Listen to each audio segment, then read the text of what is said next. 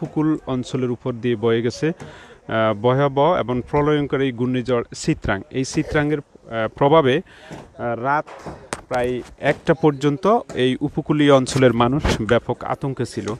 এখন সকাল থেকে একটার পর থেকেই কিন্তু মোটামুটি জ্বর কেটে গেছে এবং বৃষ্টিপাতও বন্ধ হয়ে গেছে। কিন্তু একটার পরে, রাত একটার পরে উপকূলীয় অঞ্চল, বিশেষ করে লক্ষ্মীপুরের রামগতি এবং কমলনগর অঞ্চলে প্রচুর জোয়ার এবং জলোচ্ছ্বাস হয়েছিল। সেই জলোচ্ছ্বাসের তাণ্ডবটা কী ছিল সেটি আমরা আপনাদেরকে এই সিটের মাধ্যমে একটু দেখানোর চেষ্টা করছি।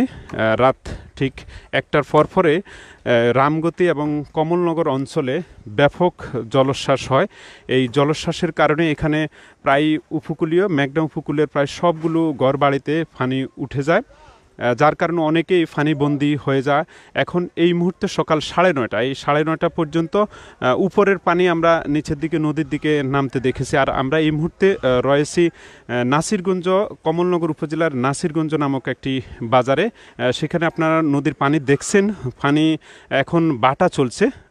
আজকে আবার বিকেলের দিকে জোয়ার আসবে এবং ঝড়ের পরবর্তী জোয়ারটা আবারও ভয়ঙ্কর হতে পারে, এখানকার স্থানীয় অধিবাসীরা জানিয়েছেন। আজকে পুরো দিন লক্ষ্মীপুর জেলাব্যাপী বিদ্যুৎ না থাকার সম্ভাবনাই বেশি কারণ এখানে প্রচুর পরিমাণে বিদ্যুতের তার ছিঁড়ে গেছে। আমরা সকাল থেকে যে পরিমাণ আমাদের চোখে পড়েছে প্রচুর তার ছিঁড়ে গেছে এবং বিভিন্ন এলাকায় বিদ্যুতের তার ছেড়ে পুরোপুরি আহ, লণ্ডভণ্ড বলা যায় লণ্ডভণ্ড হয়ে গেছে। প্রচুর গাছপালা পড়েছে এবং আমন ফসল অনেকগুলো আমন ফসল বাতাসে হেলে পড়েছে এবং কিছু কিছু নদী এলাকার কিছু আমন ফসল পানির নিচে তলিয়েছিল তবে এখন মোটামুটি স্বাভাবিক হয়ে গেছে। আর কয়েক হাজার বিভিন্ন অঞ্চলে কয়েক হাজার গাছপালা উপড়ে পড়ার দৃশ্য আমরা কিন্তু দেখেছি। এর মাঝে প্রচুর পরিমাণ গড় বাড়ি ভেঙেছে, তবে তার পরিসংখ্যানটা এখনও আমরা আপনাদেরকে জানাতে পারব না। আমরা এই মুহূর্তে রয়েছি নাসিরগঞ্জ বাজারে। এখানে নাসিরগঞ্জ একসময় এখানে বাজার ছিল, সেটি নদীতে বিলীন হয়ে গেছে। এখন এই বাজারের শেষ চিহ্ন রয়েছিল এখানে একটি মসজিদ।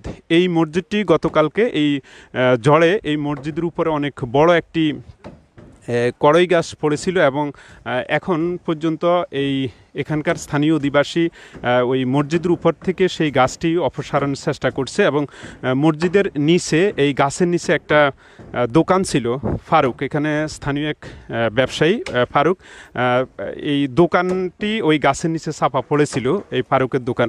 তো আমরা এ, আজকে এখানে স্থানীয় অধিবাসী আমাদেরকে জানিয়েছে, এই মসজিদে সকালে, অর্থাৎ ফজরের নামাজ এই মসজিদে এখানে স্থানীয় মুসল্লিরা আদায় করতে পারেনি এবং তারা যখন নামাজ পড়তে এসেছিল তখন আসে এসে দেখে যে মসজিদের উপরে গাছ। তো আমরা এখানে এই মসজিদের একজন সেক্রেটারি রয়েছে। আমরা ওনার থেকে একটু জানার চেষ্টা করব গতকালকে আসলে কি ঘটেছিল।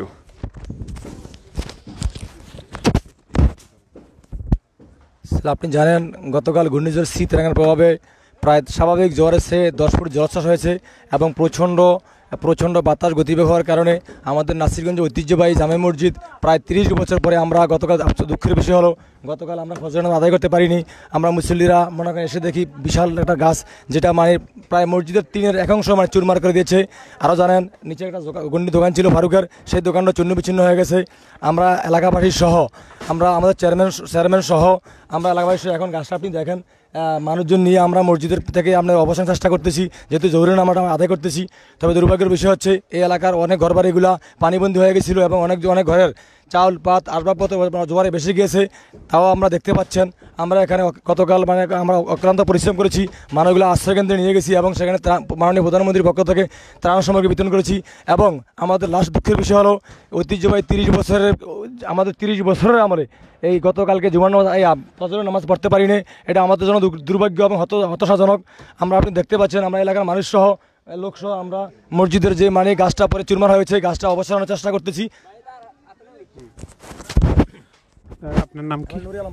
আমরা নুরে আলম পাটোয়ারি, উনি এই মসজিদের সাধারণ সম্পাদক, অর্থাৎ সেক্রেটারি এবং পাশাপাশি উনি ঘূর্ণিঝড় প্রস্তুতি কর্মসূচির কালকিনি ইউনিয়নের দায়িত্বে রয়েছেন। আমরা যদি এই অঞ্চলের একটু তাণ্ডবটা আপনাদেরকে দেখাই জলের পরবর্তী যে জোয়ার বয়েছিল সেই জোয়ারের কারণে এখানে একটি সড়ক ছিল, দেখেন।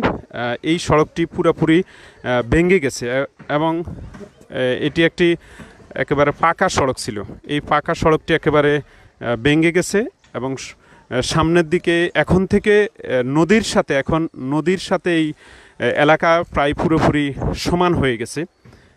গতকালকে জলের পরে যে জলোচ্ছ্বাস হয়েছিল, তো আজকে দ্বীপরের পরে আবারও জলোচ্ছ্বাস হতে পারে এবং আগামীকাল আবার রাতে, আজকে রাতে ভোরের দিকে আবারও জলোচ্ছ্বাস হবে এবং আজকে দুপুরবেলা যে জলোচ্ছ্বাসটি হবে যে জোয়ারটি হবে, সেই জোয়ারের পরিমাণটা একটু কম থাকবে। অন্যদিকে রাতে যে জলোচ্ছ্বাস হবে, জোয়ার হবে সেটির পরিমাণ একটু স্বাভাবিক তুলনায় একটু বেশি হতে পারে বলে এখানকার স্থানীয় অধিবাসীদের, অধিবাসীরা আমাদেরকে জানিয়েছে। আমরা দেখতে পাচ্ছি এই সড়ক দিয়ে এখানকার মানুষ যাতায়াত করত কিন্তু এখন সড়ক রাতে বিলীন হয়ে যাওয়ার কারণে এখন আসলে মানুষ কষ্ট করে হাঁটছে।